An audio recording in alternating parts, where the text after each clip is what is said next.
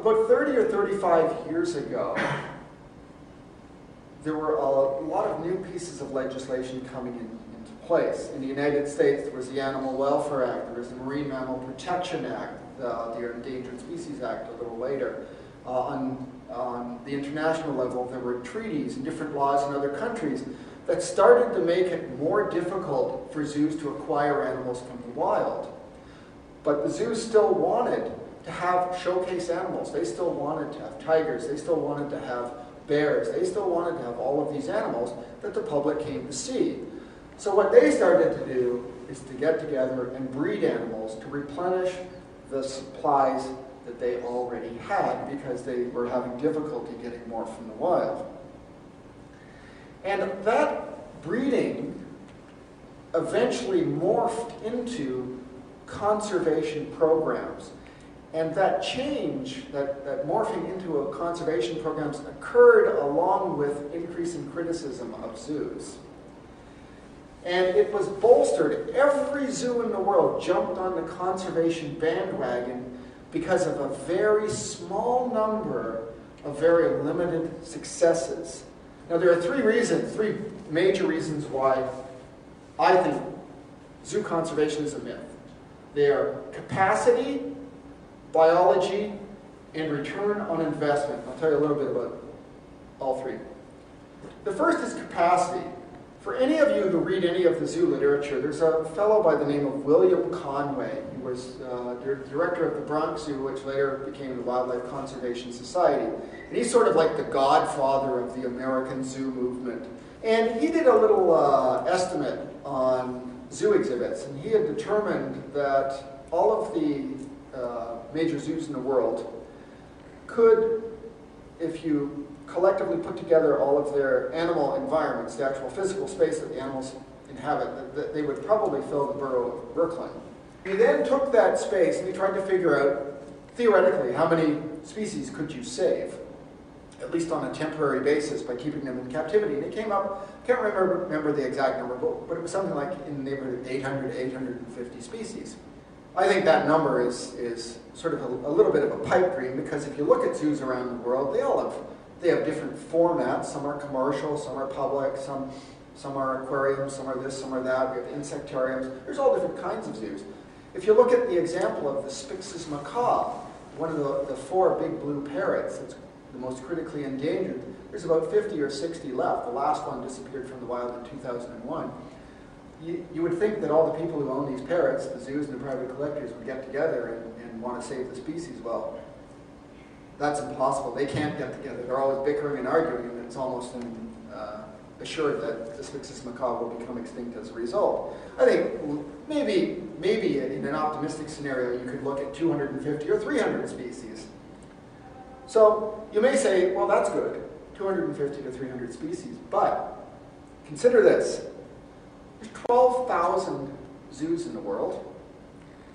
On the low end of the scale, their annual operating budget, according to the Zoo Inquiry, which was published in 1994, is about $14 billion a year. That doesn't include capital projects.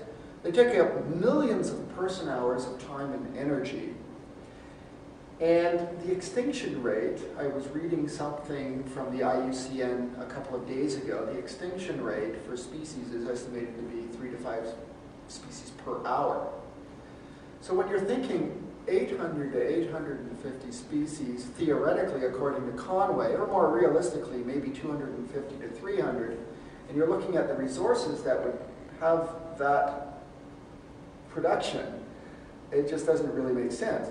And what happens in a lot of the conservation breeding programs is they're starting off with very small founder populations, many of them less than 100 members, and not all of those members are actual breeding animals. So you're starting off right from the get-go with a very small population that possibly is already inbred. A lot of the SSP programs have less than 100 animals in them, and a lot of the breeding programs in other parts of the world have less than 100 animals as well.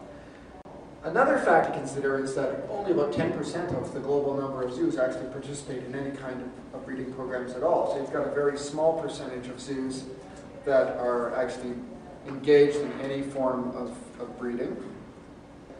what's coming out now in a lot of the scientific literature, some of it related to fish farms, is all about this rapid evolution of animals in captivity, animals that end up over many generations probably not even being like the animals that they started with.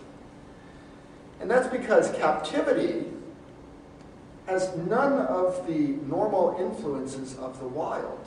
So all of the factors that impact on the survivorship of a particular animal or group of animals in the wild, they don't exist in captivity.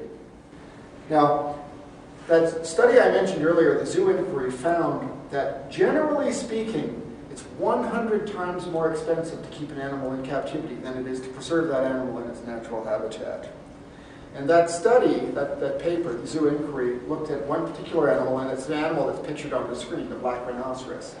And they found that for a black rhino, that it cost about $1,000 a year to protect a black rhino in its natural habitat.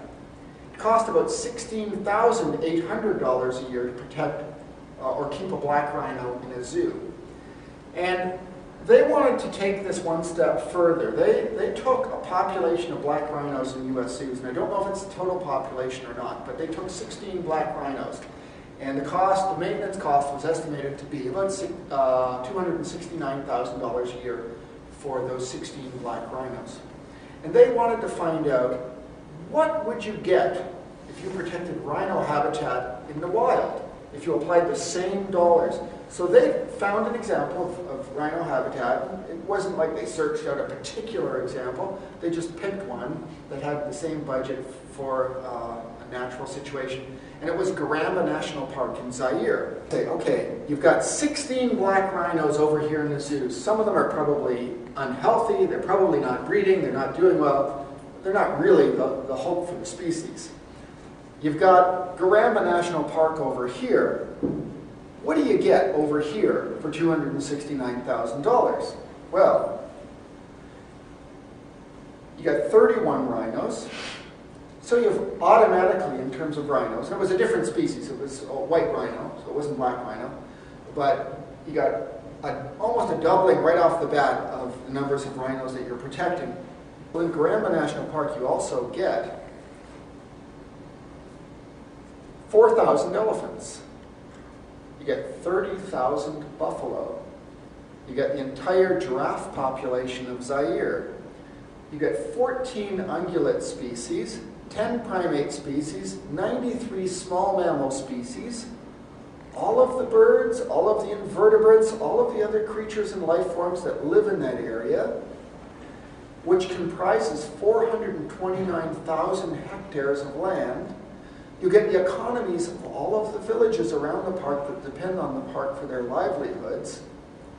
So to me, when you're thinking, I'm investing my dollars into conservation, should I put it into these 16 rhinos over here, or should I put it into the natural situation over here? There's one other return on investment thing I want to tell you about. Every year, I add up capital projects in zoos that come across my desk over a four-week period, and I don't seek them out. I mentioned, I think I mentioned earlier, I get a ton of emails every day, and a lot of them are, you know, St. Louis Zoo building a new penguin exhibit, $10 million. This zoo's building that, this zoo's building that. I did this last year, tallied up one month, it added up in capital projects to $1.213 billion. When you look at return on investment, think about what that could possibly do if even a small amount of that were applied to the wild.